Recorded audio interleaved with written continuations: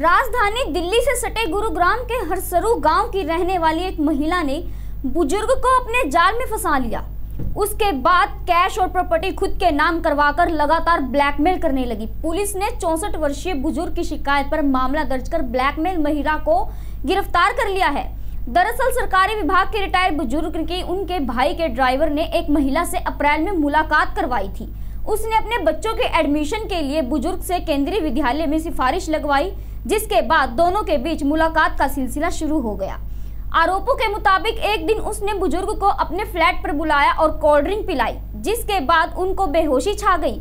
होश में आने के बाद बुज़ुर्ग बेसुध हालत में अपने घर पहुँचा। वहीं कुछ दिन बाद ही महिला ने बुज़ुर्ग को बताया कि बेहोशी के दौरान उसने उनके साथ अतरंग वीडियो बनाए थे, जो उनके मोबाइल में मौजूद हैं। बस यहीं से ब्लैकमेलिंग का खौफनाक खेल शुरू हो गया। अब महिला आए दिन बुज़ुर्ग से पैसों की मांग करने लगी।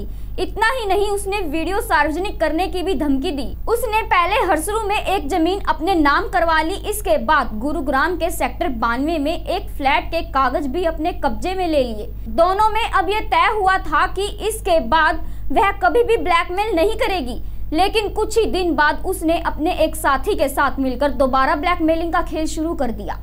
इस बार उसने ट्यूलिप सोसाइटी में फ्लैट दिलाने की मांग की, जिसके बाद बुज़ुर्ग ने गुरुग्राम पुलिस से शिकायत की और महिला को गिरफ़्तार करवाया।